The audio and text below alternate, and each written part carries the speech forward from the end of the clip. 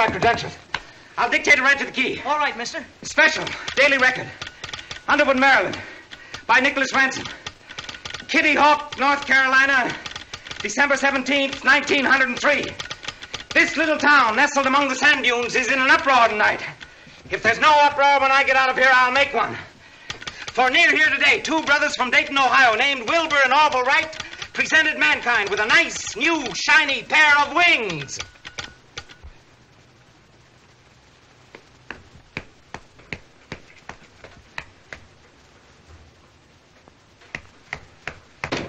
Hiram, I want to congratulate you for being an editor with courage and foresight. You were the only newspaper in the whole world with a reporter at Kitty Hawk. Think of it. The first man carrying powered flight in history. They've been waiting 20 centuries for this. Why?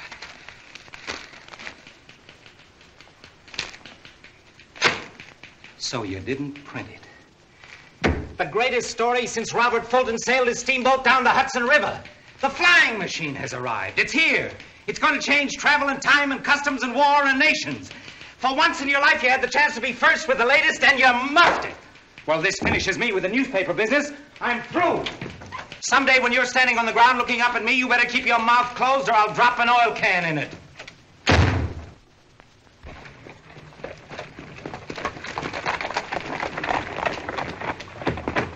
Martha! Martha, I've got it. I know how now. You know how to what, Nick? To fly. Oh, did those Wright brothers get off the ground? Twelve feet, and they flew 40 yards under perfect control. Daddy, are you really going to fly right away? Well, tomorrow or the next day. Martha, you know how they do it? They warp the wings to get lateral balance. Of course, dear. Why couldn't I have thought of that? Come on, Peggy, we've got to get to work. Daddy, the box kite's almost done. Don't you have to go back to the paper this afternoon, Nick? No, I quit. Oh. Martha, flying's going to be a great business, and I'll be in on the ground floor. I can start at the bottom and fly up. Come on, Peggy.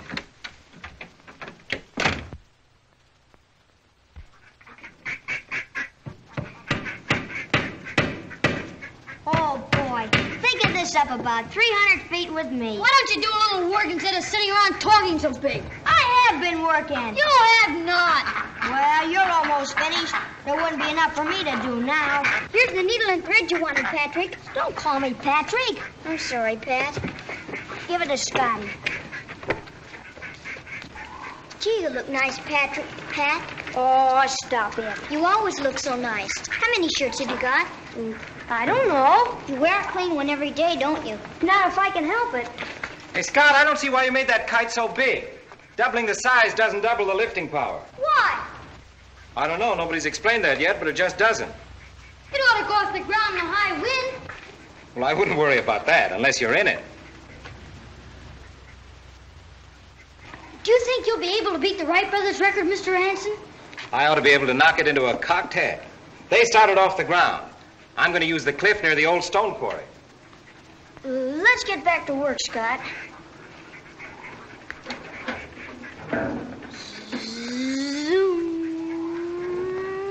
Peggy, don't you ever play with dolls anymore the way other little girls do? No, I think flying machines are a lot more fun. Well, I'll bet you're the first aerial tomboy this town ever had.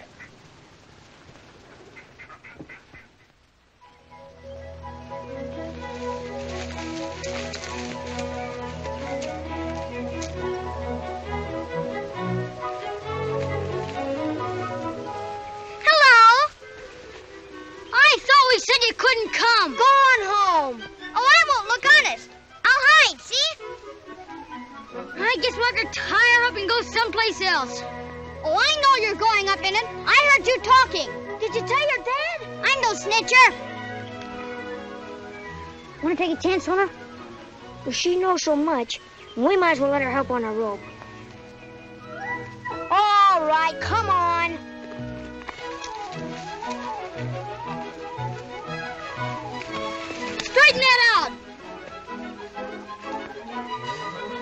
Plenty of wind, Scotty. Let's get started. Wet. Dry. He won't get hurt, will he? Nah, save your breath for running.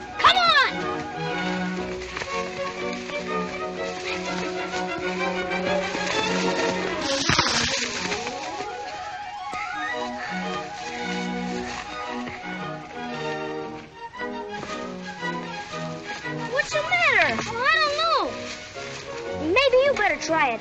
You're lighter than me.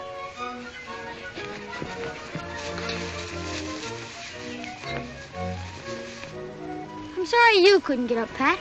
You should be first anyway. I didn't do much work on it. Can I talk now? No.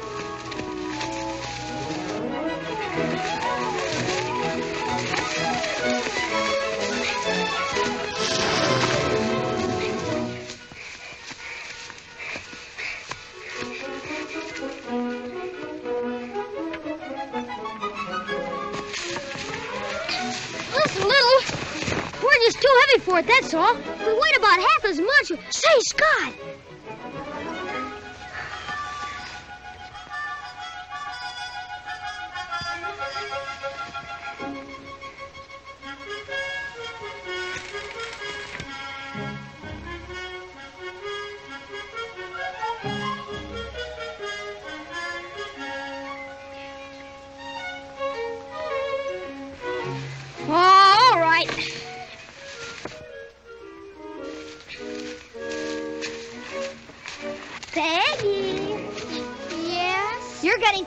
Pulling that old rope, aren't you? Oh, no, I like it. Well, listen, you've been so nice about helping us, we're going to do you a big favor. I, I didn't help much. Yes, you did. So we're going to let you be the first to go up in it. I, I like pulling on the rope. It's fun.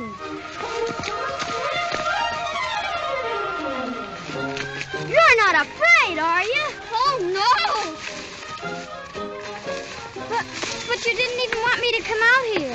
Why, Peggy, whatever gave you that idea? Just step right in.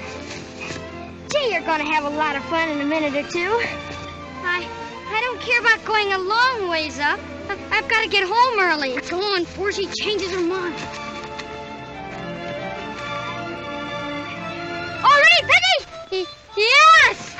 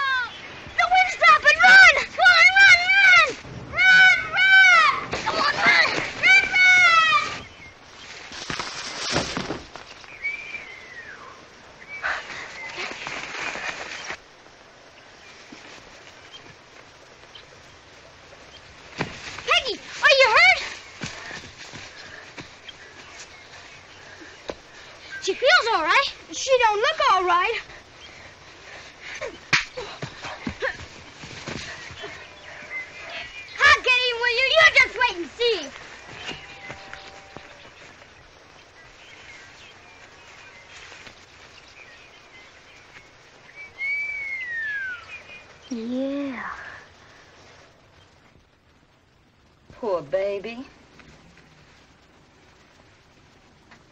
They're the worst little boys in town, aren't they, Mommy? That's exactly what I told their folks. Keep that in your eye until I get back.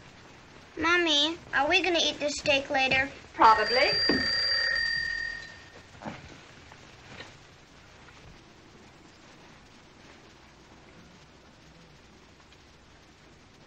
Peggy, Pat's father just called me.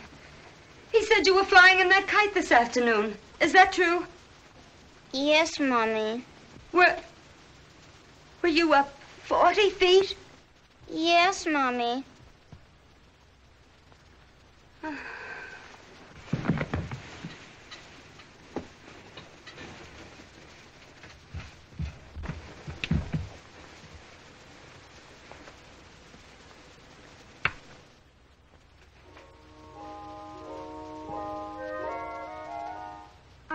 At me, Daddy? Of course not, darling.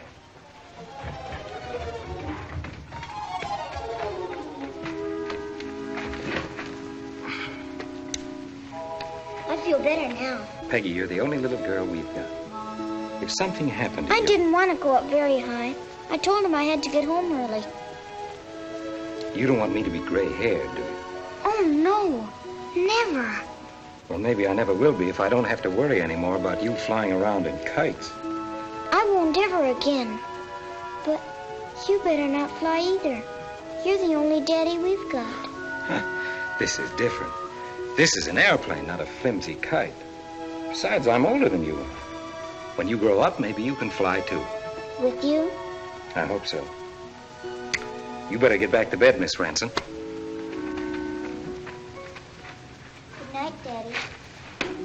Good night, darling. Hey, Peggy. Yes, Daddy. How did it feel when you were up there in the air?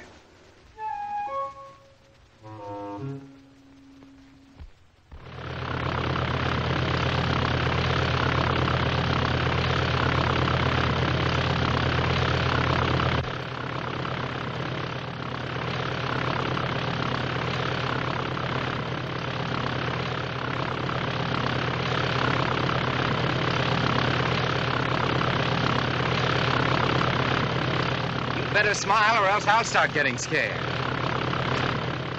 That's better. Goodbye, Peggy. I'll send you a Christmas present from Holland. Goodbye, Daddy.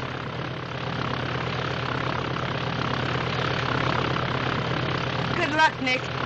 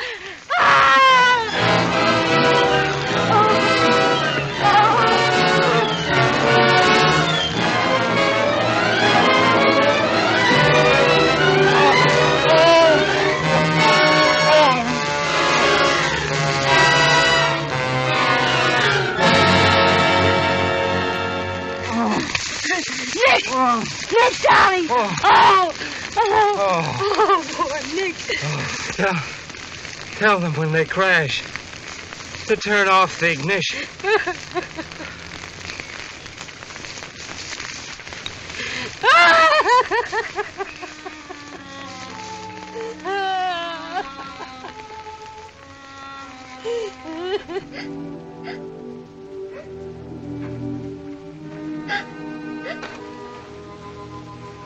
I'm awful sorry, Peggy. So am I.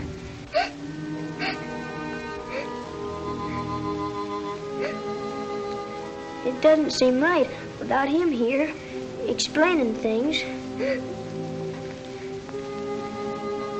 Peggy? Yes?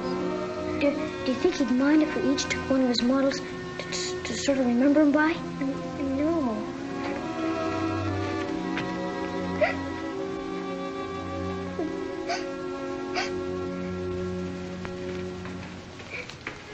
You keep this one, Peggy. It's the real one.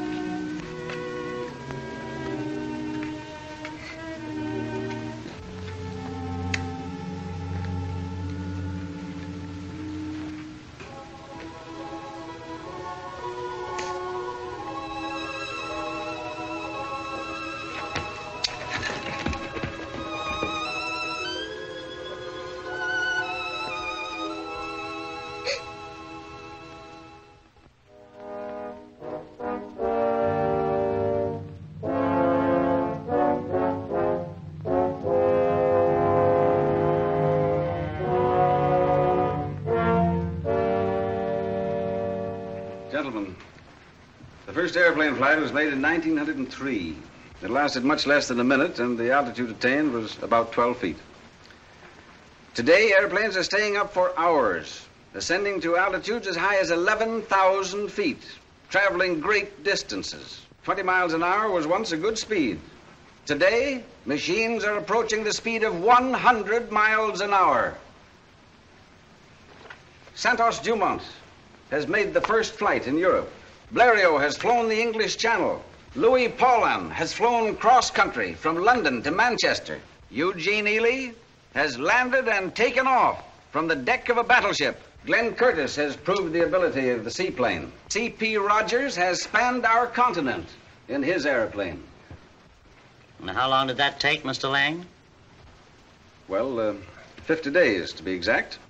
The train takes four days. Gentlemen, I don't hesitate to predict that the time will come when a machine will travel in non-stop flight from New York to Chicago. Oh, here, here, here. Germany has 600 airplanes. France has almost as many. England has nearly 90. Italy is appropriating millions of lire to build up an air force.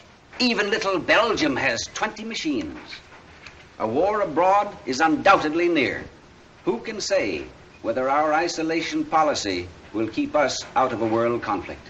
I understand our Army has some very good machines. Our Army has about 25 patched up relics. It has 11 experienced flyers. Are we getting soft and decadent? Our young men seem to be content with what they have. The air should be a challenge to them. But the spirit of adventure, of courage, of great risk in the unknown has gone from them. Gentlemen, is the pioneer spirit dead in America?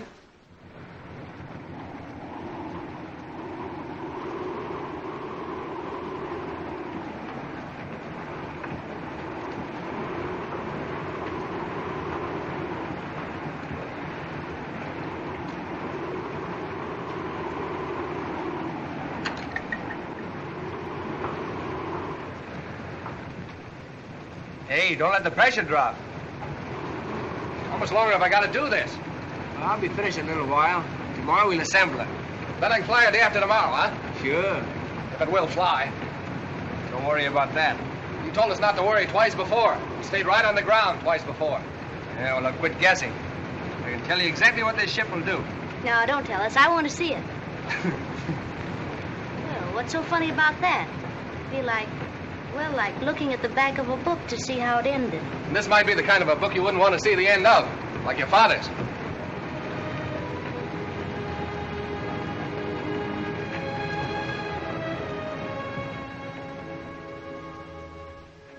I'm sorry, Peggy. I didn't mean to say that. I'm all right. I wish you were here to see it. So do I. He'd be having more fun than any of us. Say, we sure talk a lot of flying. You remember what Wilbur Wright said, don't you? The parrot, the bird that talks the most, flies the least. Well, listen, the pioneers like Mr. Ranson had to die to learn what we can learn in that wind tunnel. Anything that little fellow will do over there, this one will do in the air.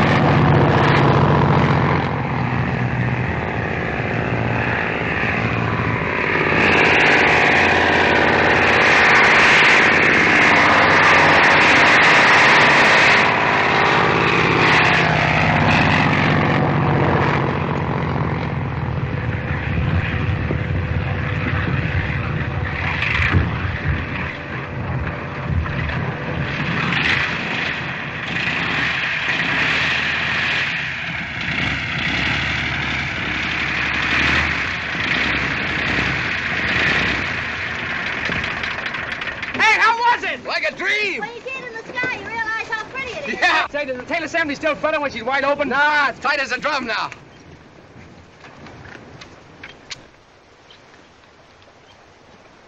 96 miles an hour. Listen, we can break the world speed record with this ship. We have broken it! Woohoo! hey, hey! Oh, I'm sorry. Nolan's my name, J.A. Nolan. Nolan?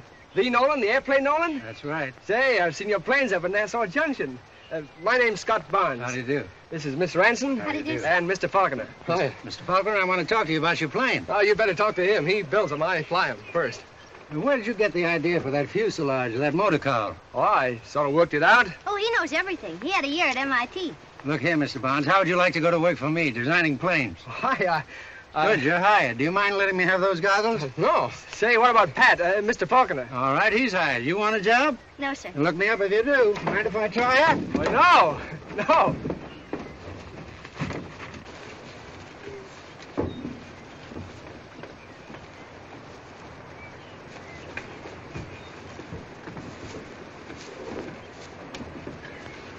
Say, Mr. Nolan, how'd you happen to hear about us? I didn't. I was driving along, heard an airplane motor. I looked up and saw your plane. I said to myself, Nolan, you've got to cut out that drinking. There's no airplanes like that yet. Switch on.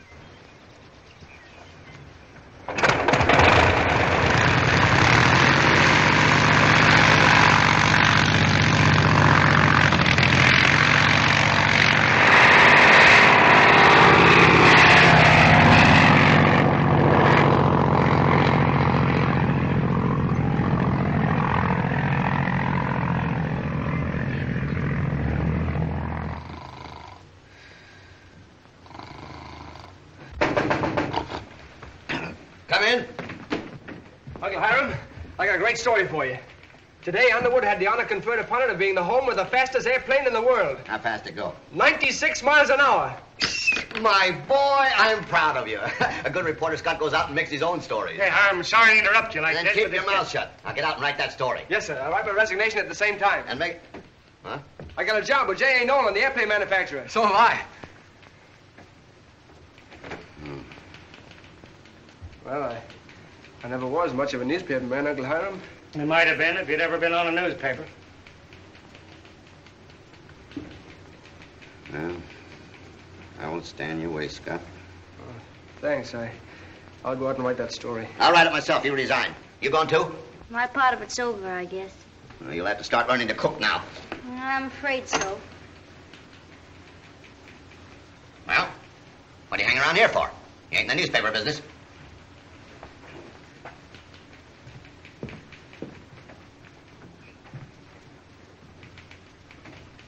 Much time we got for go to press? 20 minutes. We gotta bust up the front page. Why? The Archduke Ferdinand has just been assassinated at Sarajevo. You have a family? It might mean war. Oh, get out, get out. Do you mean to sit there and tell me that you're not gonna print it? That's exactly what I mean. The record circulates in Underwood, not Serbia. I'm writing the story of the fastest aeroplane in the world, made by three Underwood citizens. That's news. Wait. I'm getting the headline. I'm getting it. I'm getting it. I got it. Local boy breaks speed record in airplane built by local boy.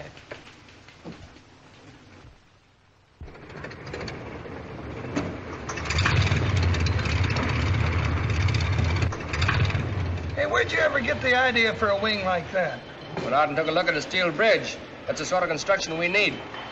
Yeah, I guess you're right, but I ain't seen anybody flying around here in a bridge lately.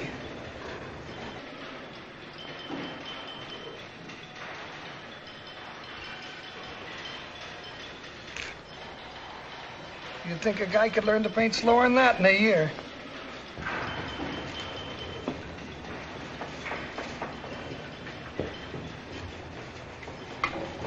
Falconer, I think you got a spot on your clothes.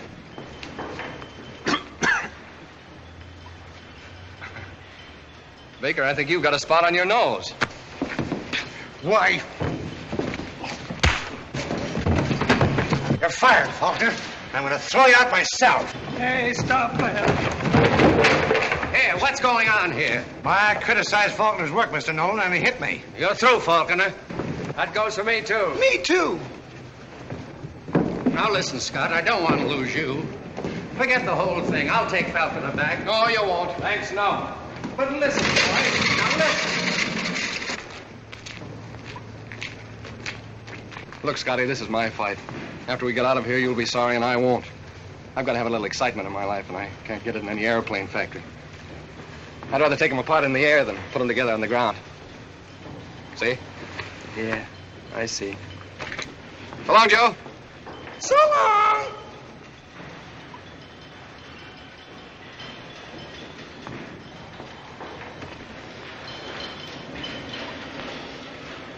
I'll stay.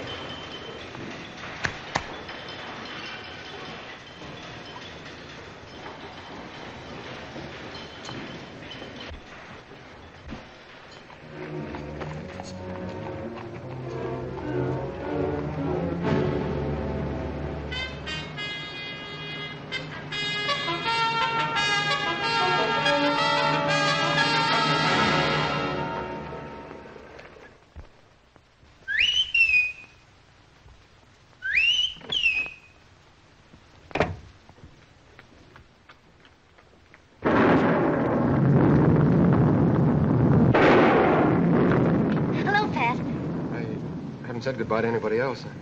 I don't know how to say goodbye to you. Uh, where are you going? To France. No. Oh, don't go.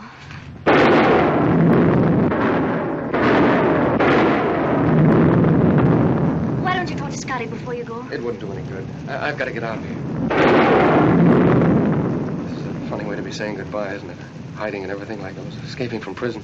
Maybe that's what it is. There's nothing really so important about this, is there? Seems like it to me. Right now, Would you care if I kissed you? I'd care if you didn't.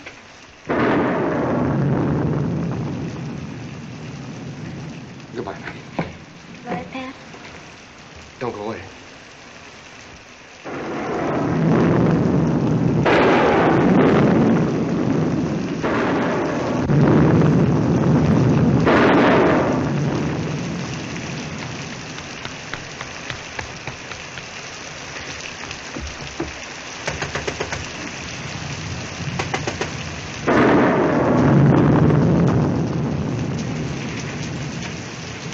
Peggy, what's the matter? Pat is, Pat is running away. Where to? To war. He must be going on the 8.30 train. Here. Slip this over your shoulder. No, you better keep it. Come on, put it on. All right, let's Come on, hurry. come on.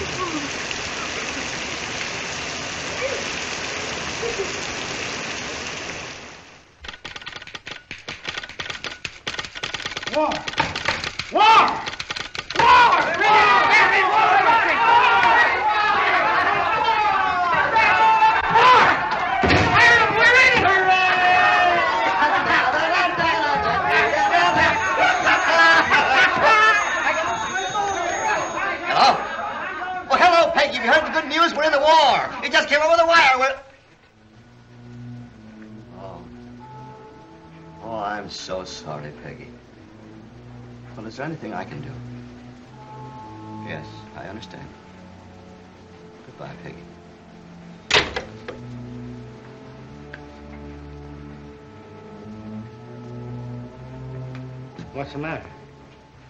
Peggy's mother just died of a heart attack.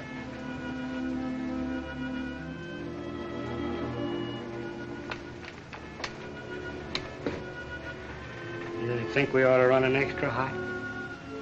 No? About the war, I mean. I don't know. War's been spoiled for me now.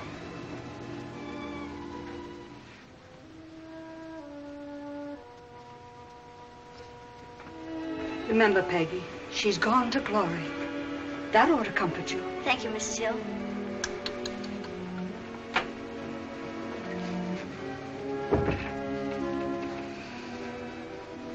Oh, how frightened I'd be, Scott. If I were ever in trouble or worried and, and I looked around and, and you weren't there. I'll always be around, bothering you. You don't bother me. No, I guess I don't. I wish I did.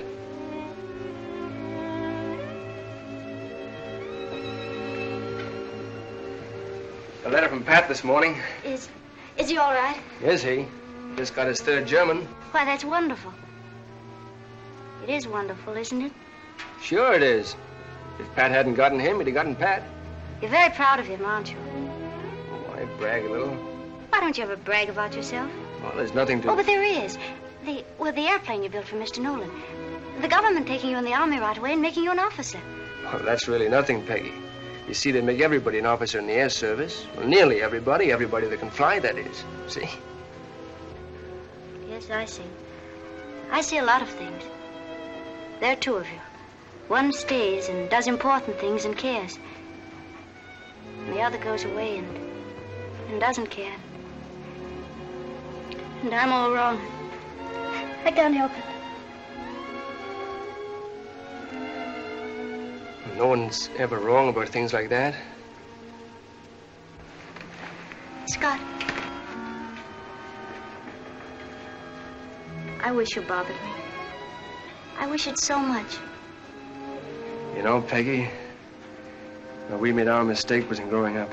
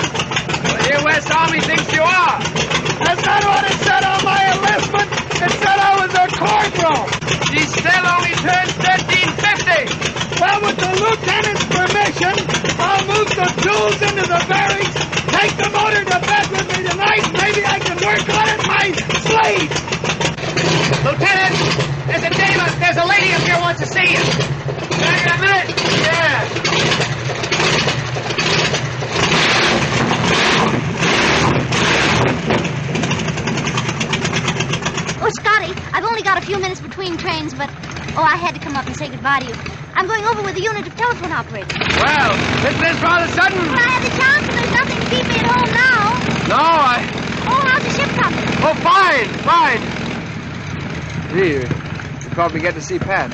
I hope so. Will you give him my love? I will. I'll miss you, Peggy. Will you please write? Boy! Benny Rowan gets an officer kissing a, a private goodbye. Well, I, I got grease on my face. I don't care.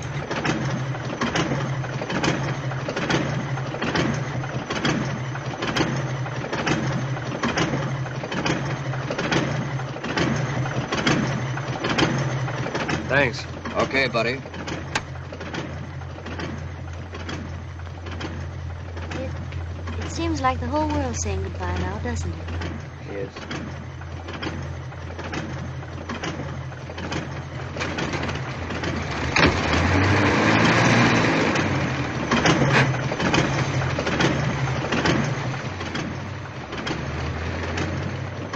Hey, Lou!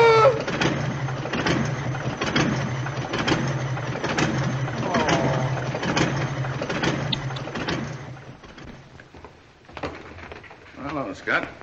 What can I do for you this time of night? Major, as soon as I test the new ship and get it passed, I'd like to be assigned to service in France. What? I'm sorry if this seems sudden, sir. You but- lost your mind? No, sir. Well, you sound like it.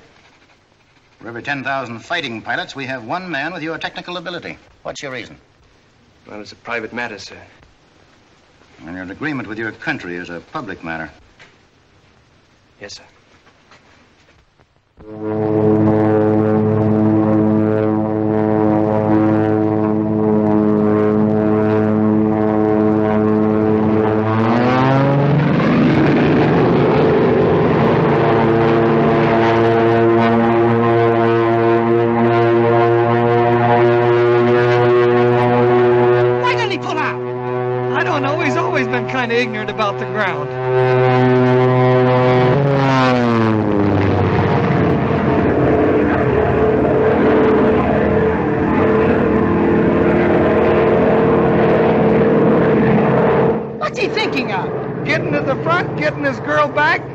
Other guy from getting hurt, getting the major sore enough to transfer him, getting his plane so it'll stand anything, and to keep from getting killed. Getting, getting what? Oh, I'm getting so I talk too much. It's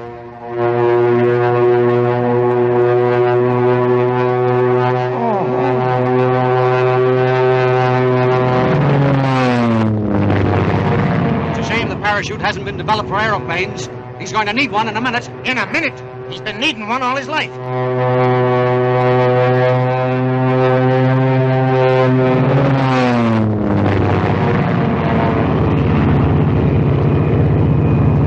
Is that guy crazy?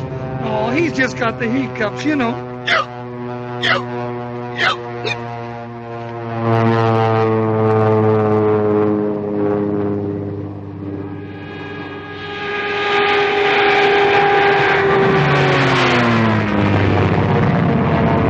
He better be awful good, or the next suit he wears won't have no pockets in it.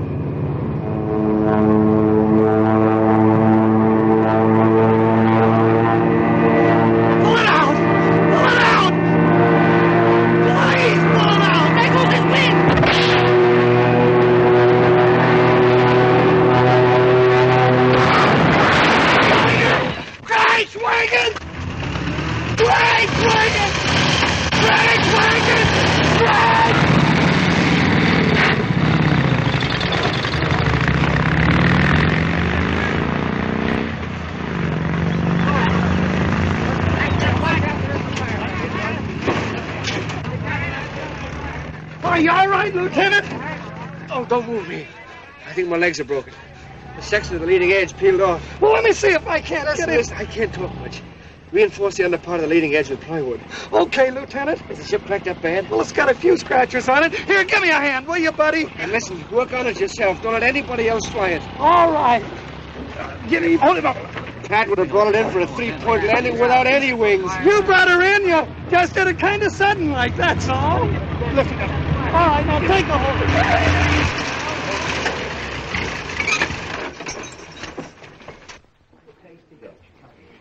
Any telegrams for me? There's nothing yet, Miss Ranson. Hello? Young Women's Christian Association. Peggy, why don't you go with us tonight? I'm sure Jimmy can handle two girls for a few hours. Oh, yes, yes. Uh, no thanks, really. You're crazy to wait for an aviator, Peggy. They're harder to get than generals. Are you sure there are no telegrams for me? Really sure. Hey, soldier! Pat! You glad to see me? Pat, I... Well, I can't cry in this lobby. I can't either. Let's go somewhere where we can, huh?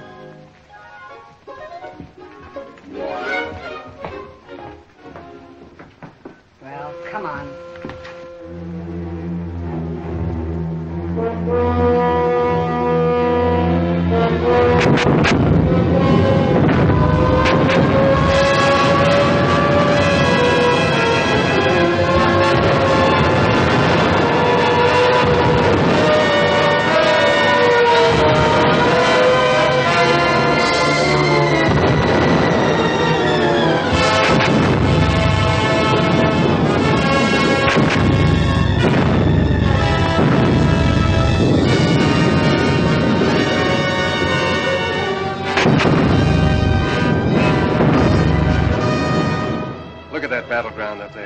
10,000 feet high. It's clean and cold and mysterious, and the dead never lie on it, and there's no mud. And the clouds are there like big feather beds to hide in, and the stars are your infantry. You're never afraid, are you? No. Are you? Afraid of being alone? Afraid of being unhappy? I was afraid of one thing. That's all I know. What? That I'd never see you again. Well, I'm glad you said that. Why? Because I haven't got anything to be afraid of now. I uh, wonder what Scotty's doing to me. He sent you his love. What about you?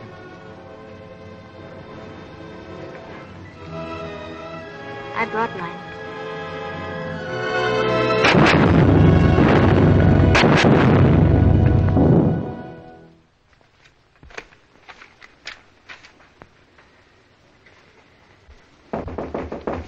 Come in.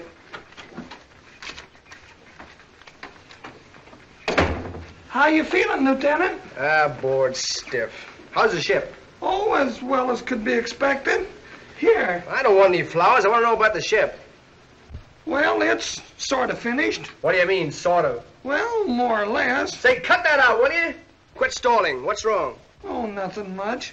Then why aren't you out there working on it instead of being here with a bunch of daisies in your hand like a daffy schoolgirl? Well, because they got it on the line warming it up, and Lieutenant Blake's gonna fly it in an hour. Got a knife? Yeah, but I ain't gonna let you cut your throat. Cut me loose from here. Oh, but Lieutenant... Listen to me. I'm your superior officer. Obey orders. Yes, sir. No. Oh! Ready? Yeah. Now get me a coat and my helmet and goggles out of there.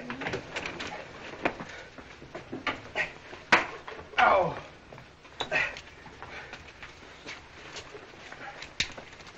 Oh. No. Hey, hey, where's your pants? I can't get them on over the cast. Come on, camera in your back. Get moving. Oh, Lieutenant, I'll never forgive myself if anything happens to you. What's the matter with you? You nuts? I guess so. I joined the army.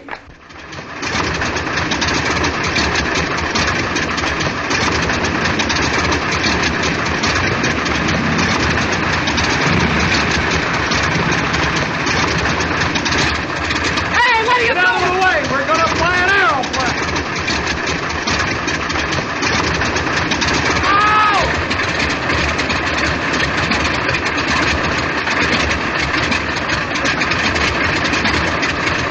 On the job!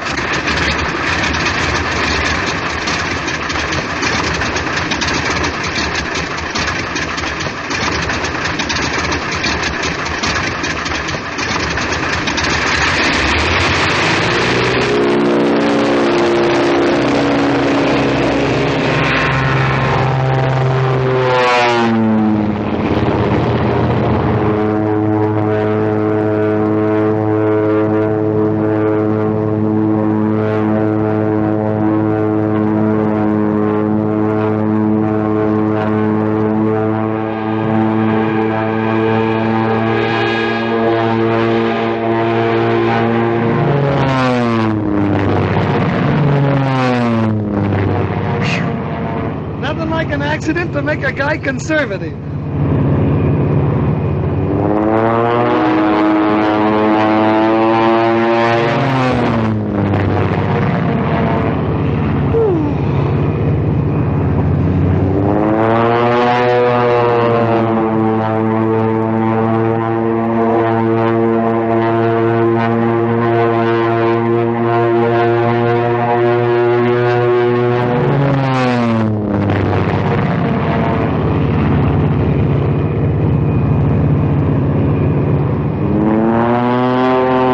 You can't stop him from playing, can you? That's the trouble. He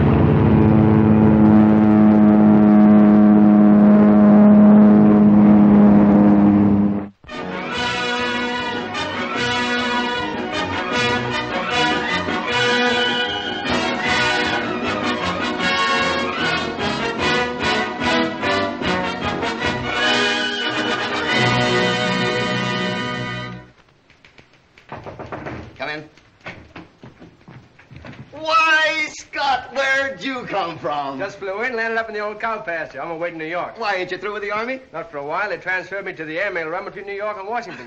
well, I'd rather be a newspaper man than a mailman, but it gives us a story anyway. Give me a couple of columns on that for tomorrow with a local angle. I got a local boy to fly airman. well, sit down, sit down, Scott. Hi, I haven't had a good look at you for a year. Can you stay overnight? One night won't even get us started in a good checker game. I got a week's leave. That's fine. That'll make about 50 games you lose.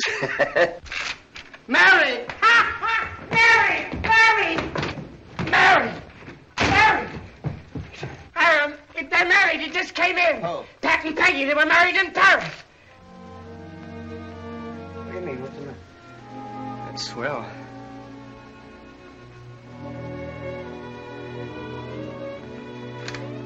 I gotta go work on that uh, airmail story.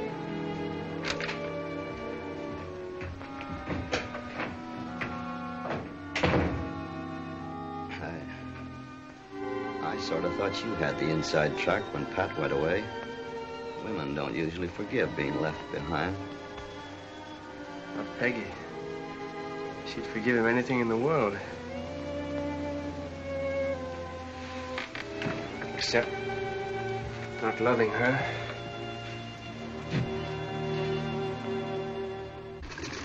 Well, it's beginning to look like the mail on this run is coming by train. Brother, I raised this pilot from a pup. The mail he carries comes by air.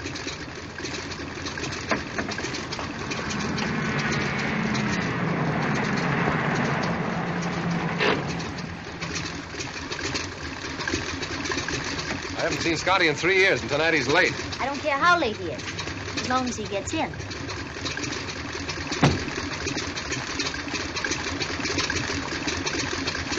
Ceiling here's 500 feet. Visibility half a mile. Number three overdue and still unreported. Right. Barnes is flying number three, isn't he? Yeah. He came down to Trenton with a broken oil line. I tried to hold him, but he taped it up and decided to come on in. Say, you're Patrick Falconer, aren't you? That's right. I've heard so much about you. Read a lot about you, too. Here he is now. Excuse me. Oh, give me Washington.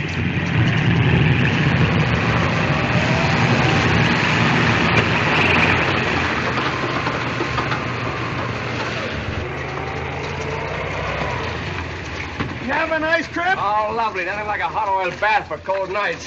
Hello, dirty face. Pat! Now I know why I wanted to come in tonight. How are you? Great, Scotty. Remember me, Scott? Could I ever forget? Oh, How are you, Joe? Better off than most pilots. Hello, Mr. Gibbs. Hey. Who, me? Uh-huh. Hello, Mrs. Falconer.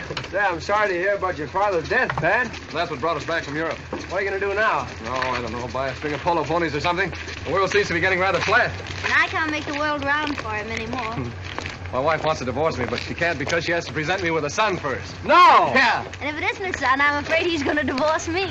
It'll be a son. It'll be great anyway. Lieutenant Parker? Yes? We're newspapermen, Lieutenant. It's quite a break catching at the airmail field. Going in the airmail? No, I just came out to see. This type you. of flying's too tame for you, huh? Well, it's a little out of my line. You're not through with flying, are you, Lieutenant? There's none of my brand in the United States, unless you count barnstorming, and can't go marry a Jenny now, it'd be bigamy. Let's get a picture in front of a mail plane. Swell idea. Right over here, please. You too, Mrs. Falconer. Do you mind getting out of the picture, buddy? No, not at all. Thanks. All right, folks, a big smile. Look at your husband, Mrs. Falconer. Thank you. One more, please. Now, looking at the plane. Here, let me do it. That's all dirty. Oh, Mother Gibbs.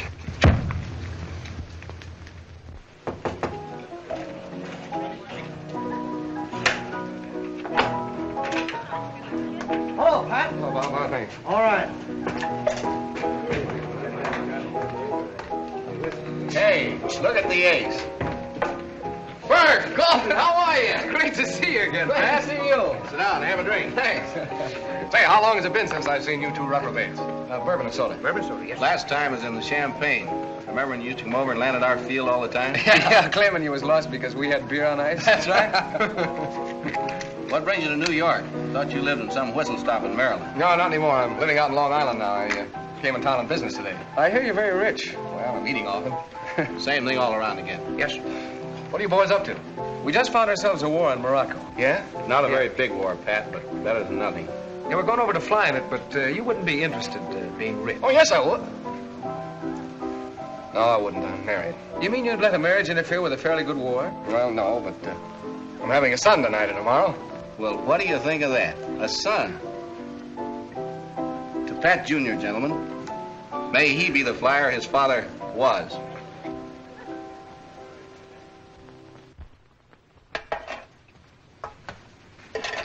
These fathers, they're more trouble than the mothers. Or the babies.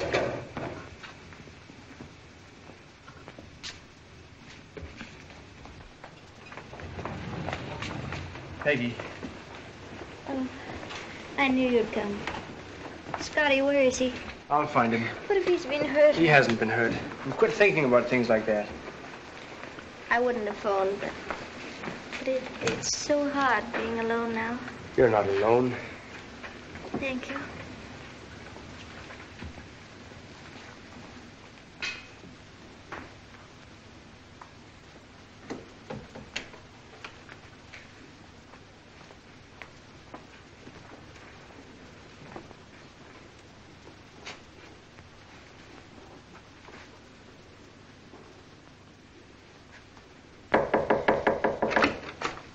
You can't see Mrs. Hilton now. She's having. I don't want to see. Just knocking on wood. For luck.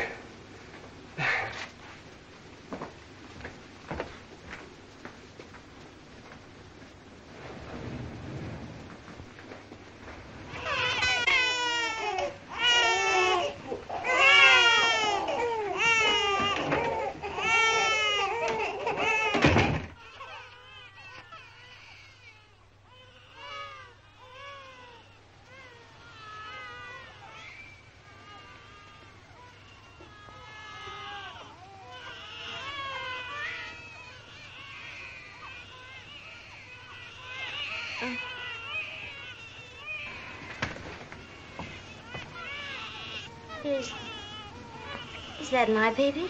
Oh, no. Your baby's much too young to be on the milk wagon. I did have a baby, didn't I? Of course. Shall I prove it to you? Oh. Please do. Nurse. Mister? Miss.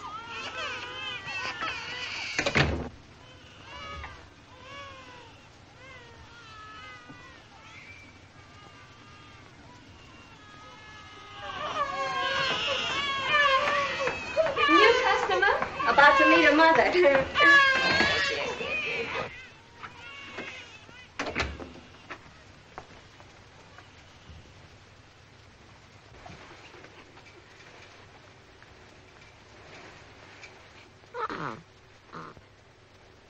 Oh. Baby. How can I be this happy? That's why there are so many mothers.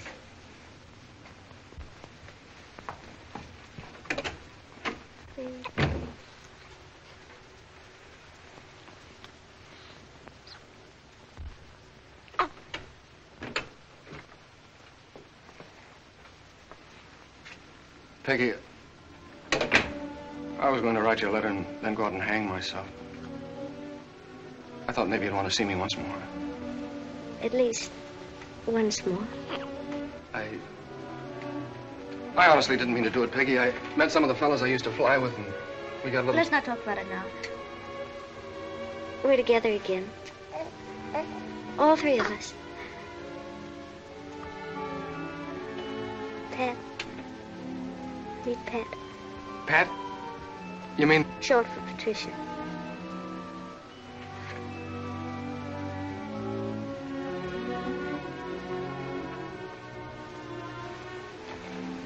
Patricia was the closest I could come to Patrick.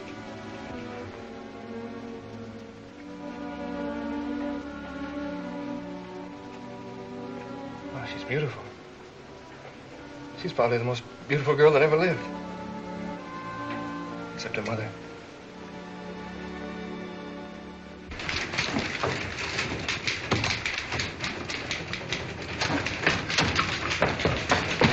Hey, Harlan. Lieutenant Commander Read just landed the NC-4 in Portugal. First airplane flight across the Atlantic. Daily Record has a bigger flight than that to play up. Who made it? The Stork. Just brought a baby girl, a Pat and Peggy. Well, congratulations. I mean, that's really something. Uh, we gotta get married and have a family. I hate to think of spending my old age with you. Maybe we ought to get married. Get out. How'll I do the story? Just say a baby was born to them. And give its wings spread, ready to climb, and horsepower. Uh, Yeah, I know. Horsepower.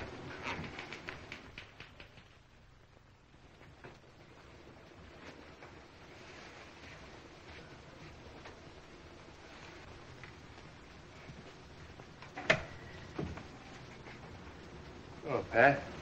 Hello, Scotty.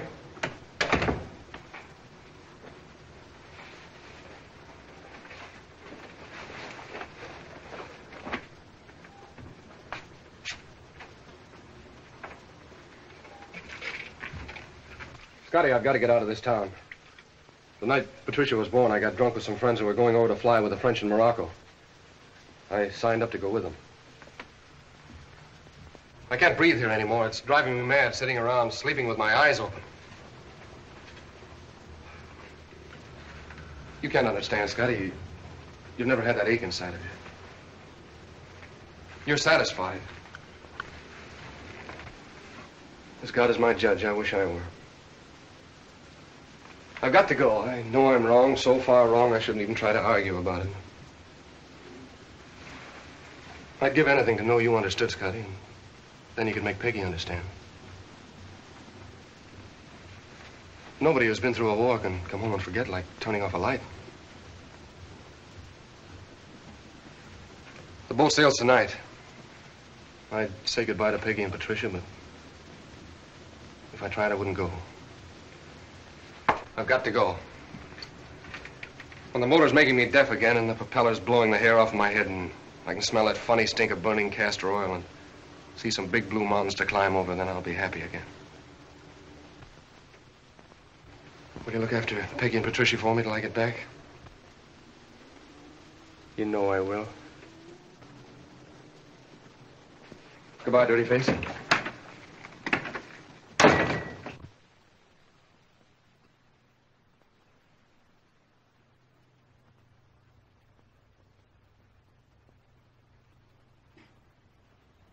Gone, hasn't he?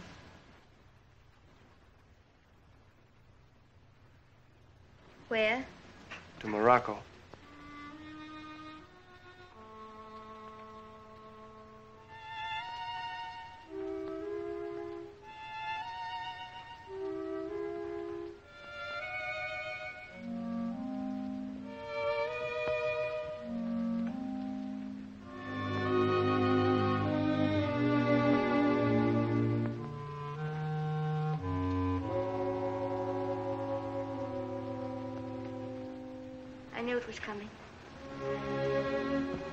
Soon. He'll be back. Oh, yes. Yes, he'll be back. I think I understand. He, he's got something inside of him. He's got to kill it, wear it out. I knew he was restless and unhappy. I knew Patty was a disappointment to him. Well, I'm so glad he didn't say goodbye to me. I'd have cried and begged him to stay and acted like a fool. Scotty, I was so happy for a while. It was like like being in heaven just to be with him. I wish you were hearing this instead of me. Oh, he'd have stayed and done his duty if I'd have asked him. He wasn't made to do his duty. It's funny. I'd rather have him for only a little while than any other man for a lifetime. Oh, Scotty, don't you ever leave me. Because I'll always be in trouble, and if, if I turned around and you weren't there, I'll be there. Well, we'll talk some more, or play some cards, or... you... You're wonderful. No, no. You're wonderful. Taking it so well. I was ready for it. I'll just have to wait to have a vacation in my life when he comes back. Well, if he isn't cured the next time I see him, I'm going to work on him with a baseball bat. That's a promise. I'll call you in the morning. Will you go to bed now? Just as soon as Patty's fed. Will you have dinner tomorrow night and the show? I'd love it. That's a date. Good night. Good night.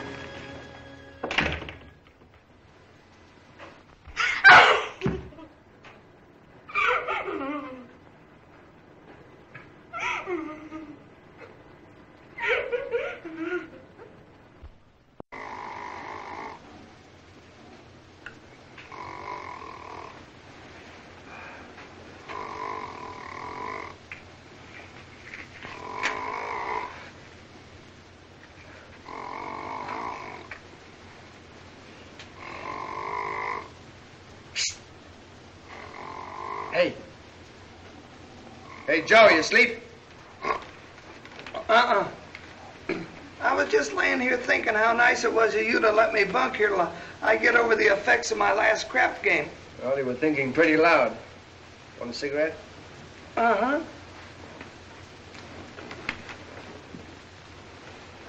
Thanks.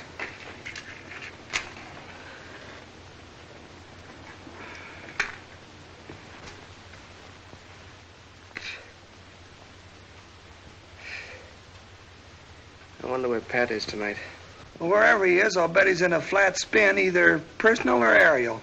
Seems to get what he wants. Yeah, medals. Somebody's got to fly the mail, Lieutenant. You know, things don't work out so good sometimes, do they? He'll work out all right.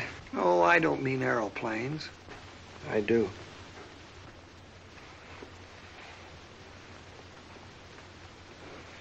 You know, this place ain't exactly a home. Not that I don't like it now. Well, you can get used to pretending it is. Well, it needs a. Well, what it needs is a wife. Say, you never listen to your own advice, do you? Well, I'd like to get married. Trouble is, nobody'll marry me. Well, you know worse off than I am.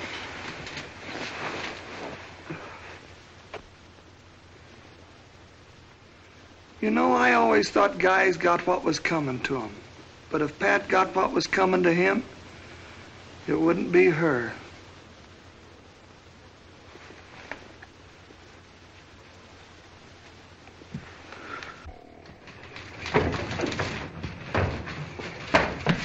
Hey, Hiram, here's something we can spread all over the front page tonight. They've just completed the first run of the transcontinental airmail, New York to San Francisco. No. But this is history, Hiram. They've been, been carrying the carrying mail the across across the continent in trains for years. This is planes, not trains. Trains don't fly. It saves time. It helps business. Just a minute. I got a story here about Pat Falconer. He just ended a war in Morocco, single-handed. Blew up a well and caused a whole tribe to surrender. Tribes are always surrendering. He's a local boy. He's wounded. He may lose his leg. That's news. A local boy just flew the first stage of the transcontinental airmail I was telling you about. Your own nephew. I won't let family sentiment interfere with the conduct of this newspaper. No, and her brains either. That's enough. Have the printer set up that headline. Local boy makes good in Morocco. Yeah, local boy makes good in Morocco.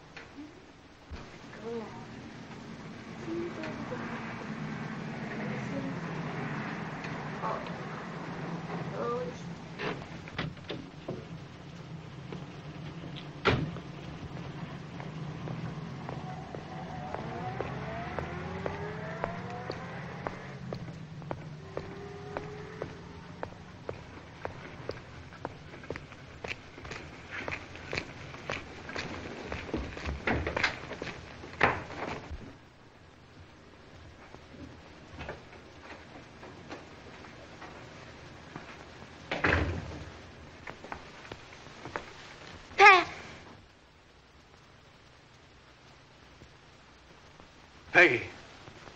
Peggy, darling.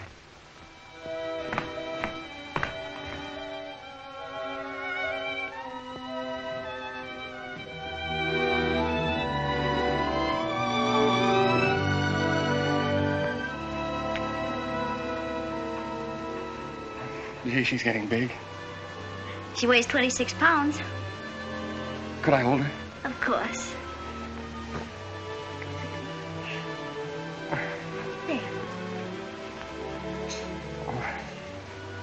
Can't be this happy.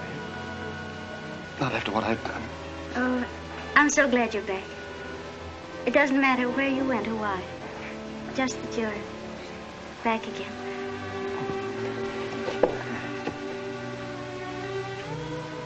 Does your leg hurt? Only when I stand on it too long. You were so vague in your letters. Well, They were talking about taking it off. That's why I couldn't tell you when I was coming home.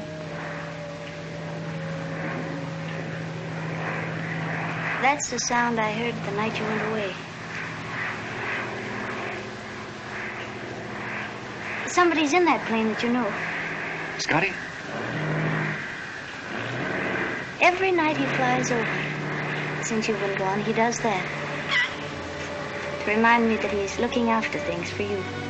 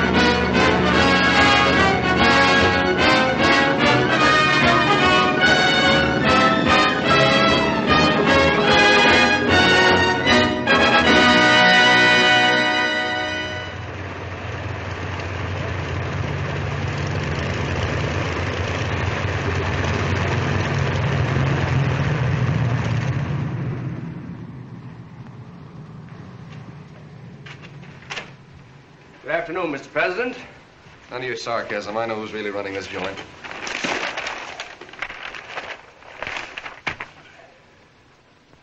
Will it fly? Fly the wings off anything in the air now. Come on, I'll go over the specifications with you. Oh, no, you won't. I don't understand that stuff. I'll wait till you get it finished, and then I'll fly it. Would you mind initialing these plans so we can start construction? You're still the president, you know. Not a very interesting job either. Say, uh, your old complaint isn't coming back again, is it? A little. I've been a good boy for five years now. Well, don't tip over the apple cart, Pat. They're uh, getting interested again in Raymond Orteig's $25,000 prize for a nonstop flight across the Atlantic. If you installed extra wing tanks in this ship and uh, put in fuselage tanks, what would be the maximum cruising range? About 4,000 miles, but I know what you're thinking, and the answer's no. Why? Because instruments are the thing now, Pat. I always got by. Yeah, then, but not now.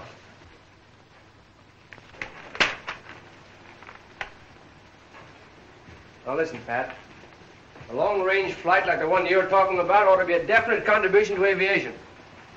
And you, it's just a stunt. Scotty, suppose you took about three months and taught me to fly your way. Then would you build that ship for me? Will you listen to teacher? I'll guarantee to get a gold star on my report card every week. You're practically in Paris. It's Peggy. Don't ask me to tell her about this. Oh, wait a minute. You can at least back me up. I hope you're convincing. I always am. Gentlemen. Hello. Hello, Peggy. Uh, Peggy, uh, you remember where we got married? Did we? Oh, yes. Oh, well, let's see. Uh, ah, Paris. That's right. That's where I'm going. In an airplane. What? Scotty's going to build me one like this. And Mr. Orteig's going to pay me $25,000 for going over nonstop. Of course, he doesn't know it yet, but... Uh, you don't mind, do you? Of course not. I. Well, I'll still be very proud of my husband, even after he flies the Atlantic.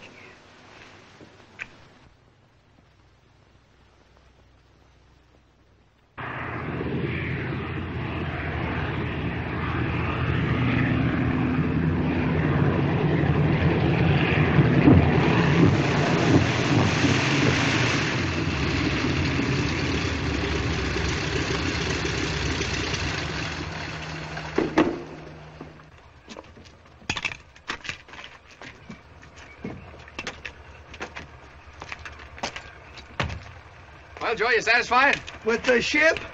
Yeah.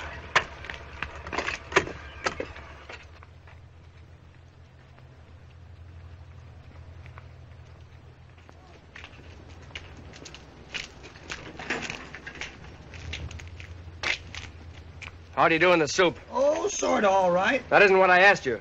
I'll bet I'm the first stool pigeon that ever really flew. Did he go on instruments? Well, you could call it that. Pretty near. Every time we eased up into the stuff, why, we spun out. After a while, I says, Where are we? He says, Over Los Angeles, or maybe it's San Francisco. So we went downstairs to take a look. And what happened? A cow had to lay down to get out of the way. Go on. Then we went up to fly blind. And when that guy flies blind, he flies blind. Got so I couldn't stay in my seat. And I says, either I'm getting nervous or this plane is upside down. It was.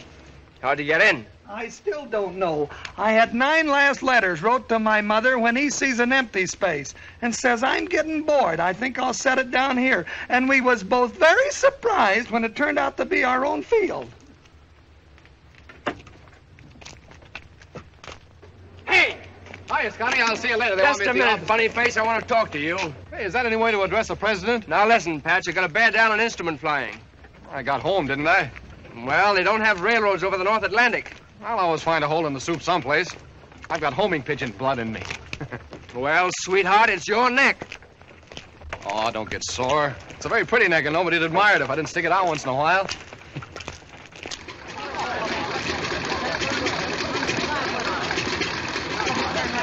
Hold it, please. How about a shot up by the plane, Captain? Yeah, and one in it, peering out. You know, like a jack in the box. I'm sorry, boys. That's all I've got time for. Well, any final statement, Captain? Yeah, goodbye. Here's the final weather reports, Mr. Falconer, and a telegram from Mr. Barnes in New York. Oh, it's from Scott. They're ready in New York. Everything ready here. Stop. Keep your eyes on that instrument board. Stop. All the luck. Scott. God bless him. Stay sweet, Mr. Falconer! What will be your time, Captain? 20 hours. I'll be in New York at 4.30 in the morning. Well, Peggy, I guess this is it. We've had a funny life, haven't we? I was saying goodbye. But uh, never so publicly before.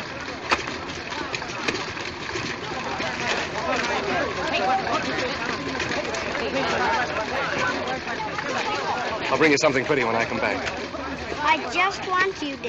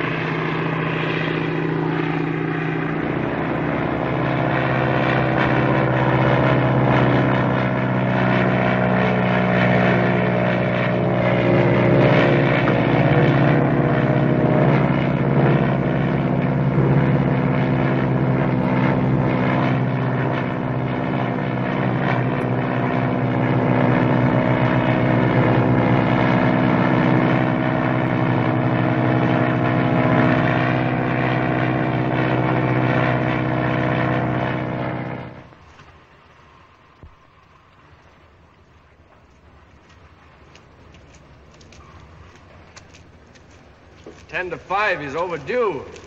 Probably bucking the headwind. Well, he was on his course all right when he went over Columbus. I wish you'd hurry up and get in here. I'd like to work on that crate.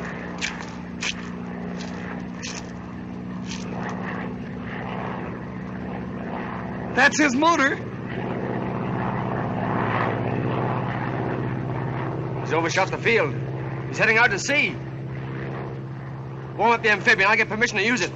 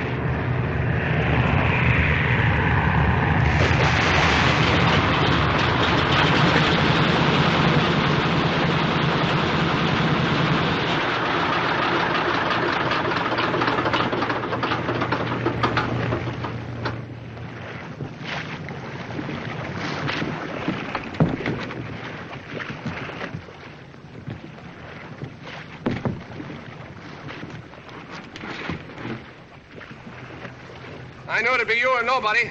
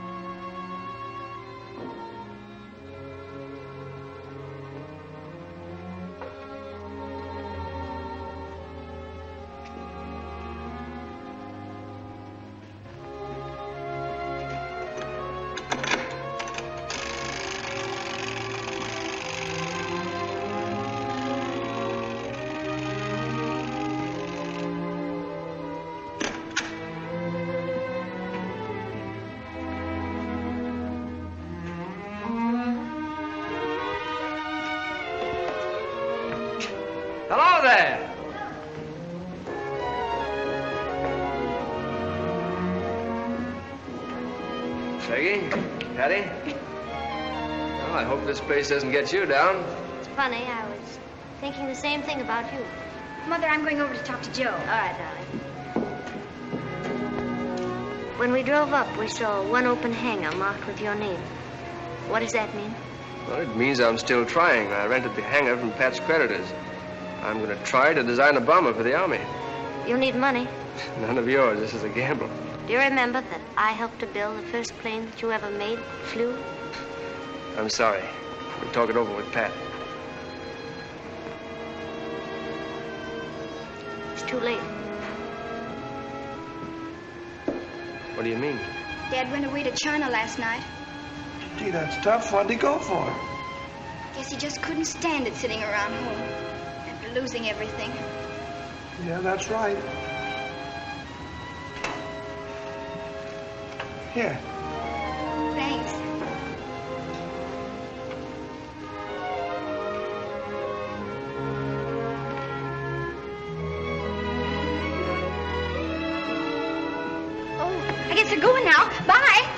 Bye, Patty.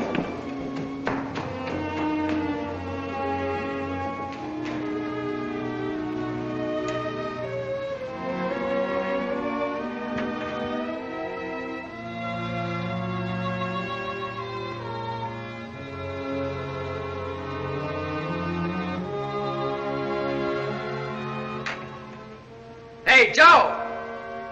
You want a job where you won't get paid very often? Sure, gee, I thought for a minute you'd forgotten me, boss.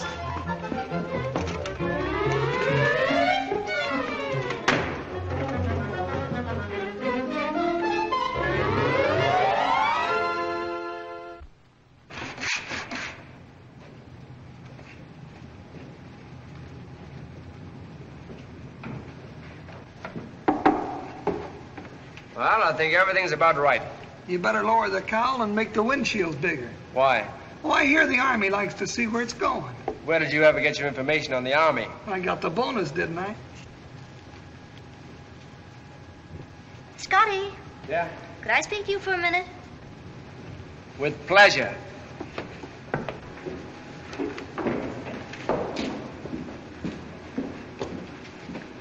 I've added and subtracted everything ten times, but we've still only got enough money to buy one motor, not including its propeller. Did we borrow back the wages we paid to Joe? Two weeks ago. Look, it's Hiram and Hank. Well, well, look who's here. How are you? Peggy, Peggy. Sorry. Well, all right, Gee, I'm glad to see you, Uncle Hiram. You too, Hank. I reckon you'll be gladder in a minute. What brings you out of California? Uh, we heard you were in a fix. So we came out to put some money in your flying machine. Oh, no, no. I, I can't take your money. You got to. I sold out the newspaper. What? Uh, no future in it. Not the way he run it, anyway. I. I think I want to kiss somebody. Well, I'm in this too, you know. Of course, Hiram never paid me more than enough to keep a skunk alive, but I got a little saved up. yeah, Peggy. Hank, I, I. I don't know what to say. No, you ought to. You're the boss. Where do I start in? Uh, Peggy. Do you mind not telling Scott you got us to put in with him? Then I'll always, uh, sort of be his favorite uncle. Of course. Patty. Yes. We got an angel.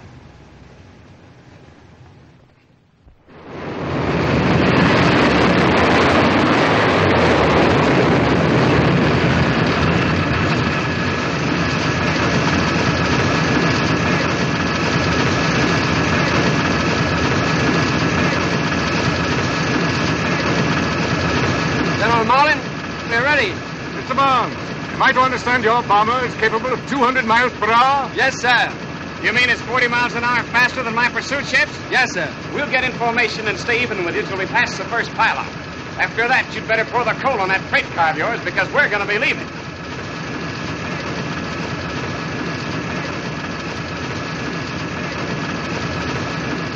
More to him. You think I won't? You'd better.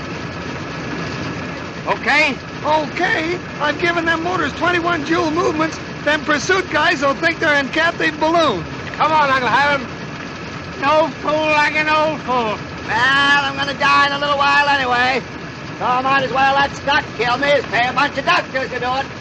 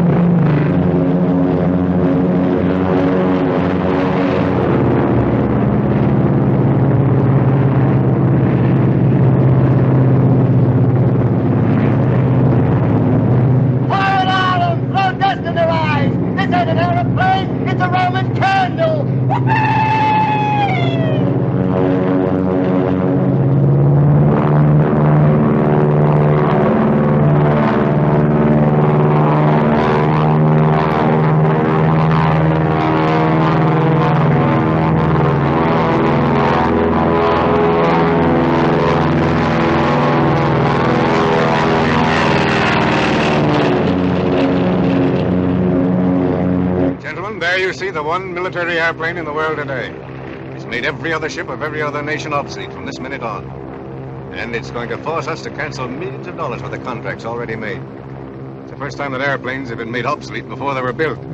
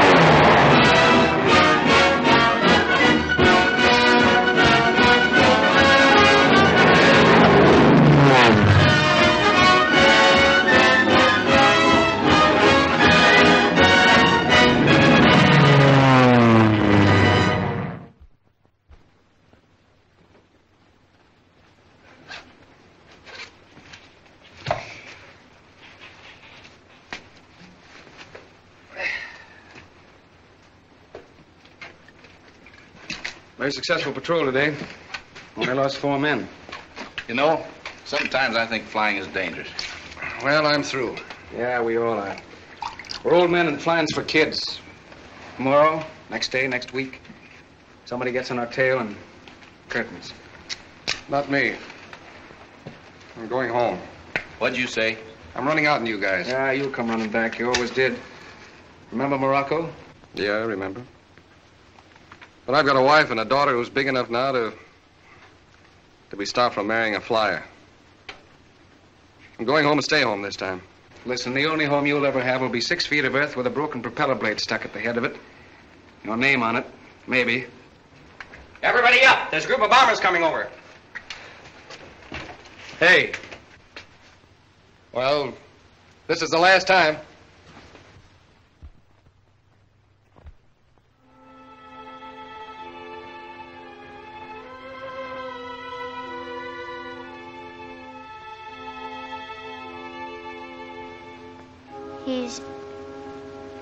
Dead, isn't he? Yes.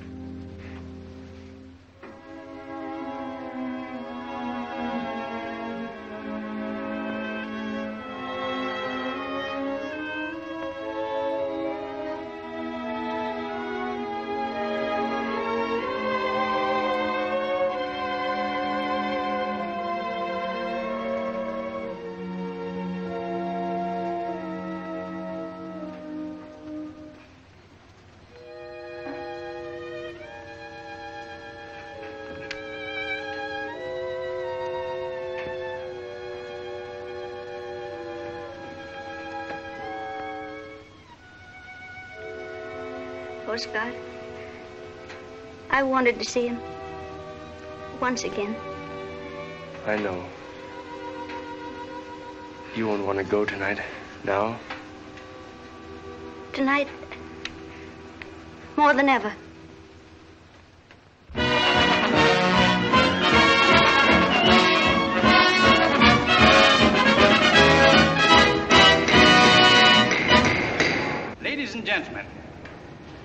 Gathered here tonight to celebrate the fifth birthday of the finest military airplane in the world, the Falconer Bomber, and to convey our thanks and respects to the little group of pioneers who made it possible.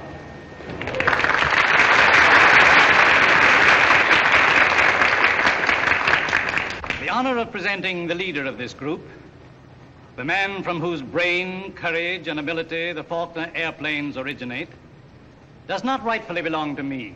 But we have with us tonight a man who is a member of that inner circle, a real airman, the aerial godfather, so to speak, of Scott Barnes. To him, I surrender the honor of this next introduction. Major General Thomas Hadley, United States Army, retired.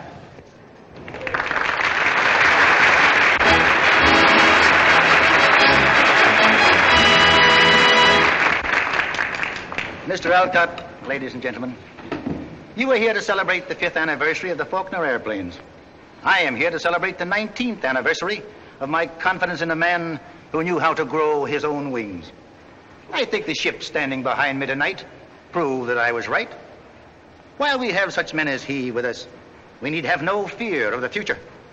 Every week, every month, every year, we are flying faster and farther and higher. And all this progress springs from their dreams and the sweat and the heartbreak of such men as the lieutenant. I once thought seriously of having court-martialed Scott Barnes.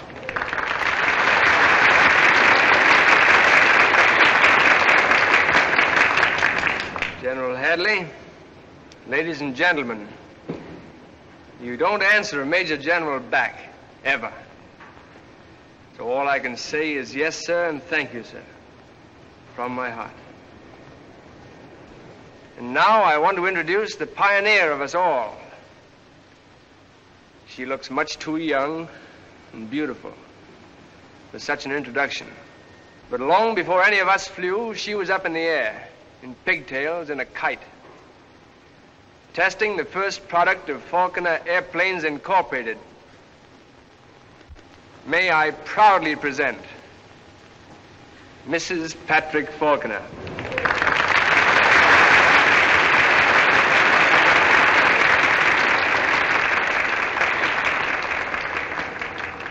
There's one man who isn't here tonight. The most important man of all. The man who founded this plant and whose name it bears. The man who put his fortune in it and lost everything. The man who gave us our chance. Patrick Falconer. If he were here tonight, I'm sure he'd be as proud of us as we are of him. And that's the highest tribute we could ever be paid.